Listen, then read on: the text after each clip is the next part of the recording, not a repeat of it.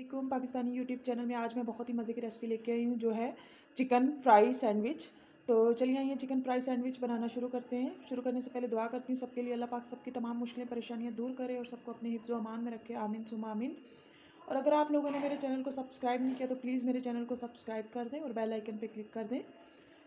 तो सैंडविच बनाने के लिए हमें जो चीज़ें चाहिए, ये चार मैंने ब्रेड के स्लाइस लिए, दो अंडे लिए हाफ़ टी स्पून मैंने नमक लिए, हाफ़ टी स्पून मैंने पिसी हुई काली मिर्च लिए, one tablespoon soya sauce, one teaspoon सिरका, थ्री टेबल स्पून मायोनीज़, आप किसी भी ब्रांड का ले सकते हैं, आपको इजीली मिल जाएगा। इस तरह के पैक में, ये देखें कोई भी ले सकते हैं।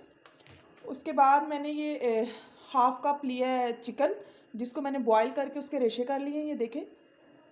ब्रेड क्रम्स ये जो इसके साइड से कटते हैं ब्रेड को मैं काटूँगी और ये ब्रेड जब नहीं लेके आते हैं, उसके ऊपर का हिस्सा और नीचे का जो होता है, उसको आप जमा कर लें और ब्रेड क्रम्स बना के फ्रीज़र में रख लें। तो चूल्हे पे एक पैन रखेंगे, उसके अंदर ये वन टेबल स्पून ऑयल शामिल कर देंगे।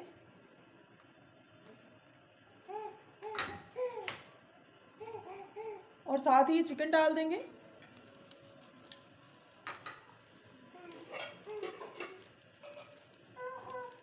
और चिकन को हल्का सा फ्राई करेंगे।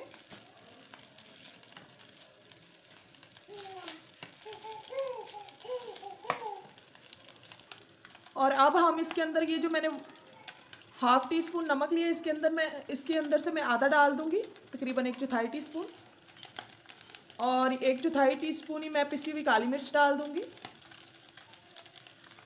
और इसको मिक्स करूँगी।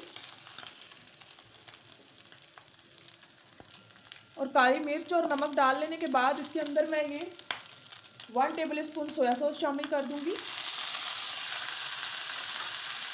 और वन टीस्पून सोया सॉस और सॉरी सिरका।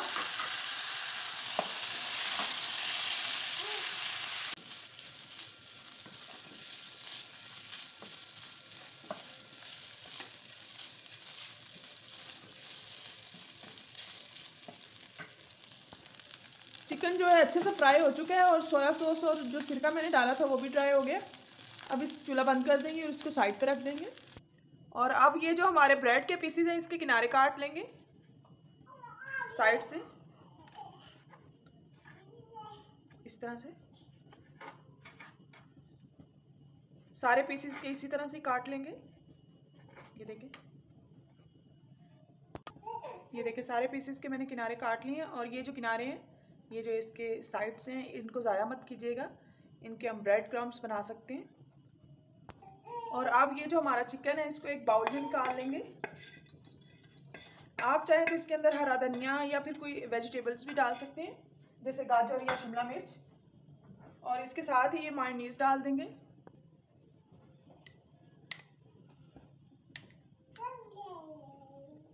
और ये मायोनीज डाल के इसको अच्छे से मिक्स करेंगे।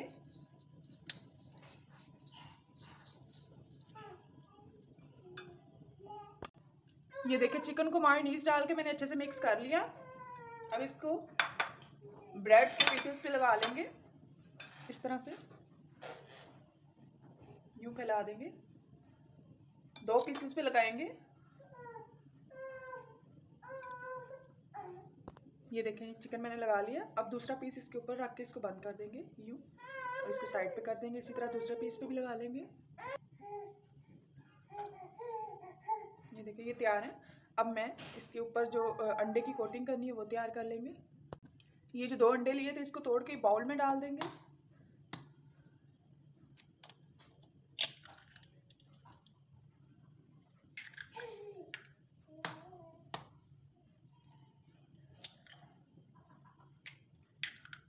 और ये जो मैंने, एक चौथाई टी स्पून नमक बचाया, ये इसके अंदर ऐड कर दूँगी। और साथ ही ये पिसी हुई काली मिर्चें, एक चौथाई टी स्पून और अंडों को अच्छे से मिक्स करेंगे। अंडे को अच्छे से मैंने फेंट लिया फ्लफी होने तक। अब ये जो ब्रेड क्रम्स है, इसको प्लेट में निकाल देंगे। अच्छे से फैला देंगे। और ये जो ब्रेड है हमारी, इसको अंडे में डिप करेंगे। एहतियात से अच्छे से दबा लें, ताकि ये जो चिकन है, वो निकले ना, यूँ। और इसको हल्के हाथ से यूँ डिप करेंगे, दोनों साइड्स पे। इस तरह से साइडों से भी। और आप इसके ऊपर ये ब्रेड क्रम्स लगा देंगे। ये देखें। इस तरह से साइड भी इसी तरह ही लगा लेंगे।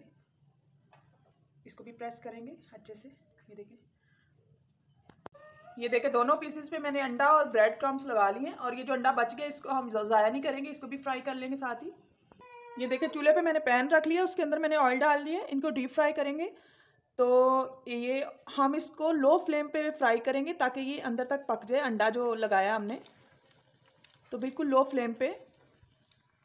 और तकरीबन एक मिनट के लिए बन, एक साइड से पकाएँगे गोल्डन ब्राउन करेंगे और फिर इसकी साइड चेंज कर देंगे। ये देखिए एक साइड से हल्का सा गोल्डन ब्राउन हो गया अब मैं इसकी साइड चेंज कर दूँगी। ये देखें तो ये देखें, दूसरी साइड से भी ब्राउन हो गया गोल्डन ब्राउन अब मैं इसको निकाल दूँगी प्लेट में, अच्छे से ऑयल जो है निकाल देंगे इस तरह साइड पे करके।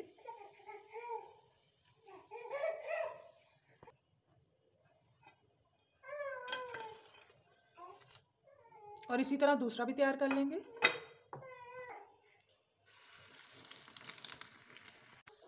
तो ये देखिए जी, दूसरा सैंडविच भी हमारा तैयार है, इसको भी निकाल लेंगे प्लेट में। और अब मैं आपको इसकी फाइनल लुक दिखाती हूँ। ये देखिए जी, साथ में जो हमारा अंडा बचा था, मैंने सोचा उसको भी फ्राई कर लूँ। ये देखिए कोई भी चीज़ ज़ाया मत कीजिएगा। ब्रेड क्रम्स भी मैंने रख लिए हैं, संभाल के। ये बहुत मज़ेदार सैंडविच हमारे तैयार हैं चिकन सैंडविच ये साथ में मैंने थोड़े से फ्राइज़ बना लिए हैं, और ये जो अंडा बचा था वो है। तो ये देखें, बहुत ही क्रीमी और बहुत ही मज़े के हमारे सैंडविच बने हैं। ज़रूर ट्राई कीजिएगा। रेसिपी पसंद आए तो अपने दोस्तों के साथ शेयर कीजिएगा, और कमेंट सेक्शन में बताइएगा कि आपको ये रेसिपी कैसी लगी। अल्लाह हाफिज़।